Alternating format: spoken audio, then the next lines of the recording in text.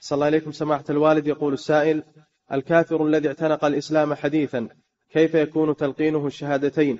وما هي الصفة الصحيحة التي تقال له حيث كثيرا نسمع صيغا متعددة؟ يقال له قل أشهد أن لا إله إلا الله وأشهد أن محمدا رسول الله. هكذا يقال له. نعم.